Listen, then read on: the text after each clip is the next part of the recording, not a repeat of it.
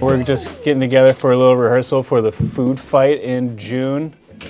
The little battle of the bands between all the restaurants here in Portland, or a lot of them anyway.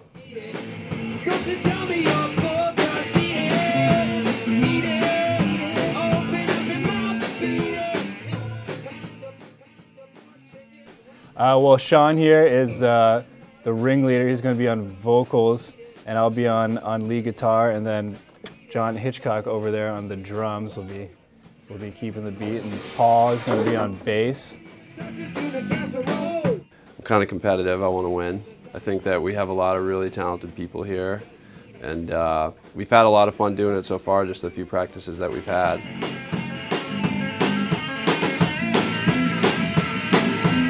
Well, I mean, we've already developed a chemistry uh, personally. Um, you know, and working together, we all get along, we all joke around, we're all goofy. So when we get down here, it's the same thing. You know, there's not, it's not high stress. It's not people like being tense. You know, well, you got to learn this part, or you got to do this right, you got to do that right. It's uh, people are just laughing and having a good time. You know.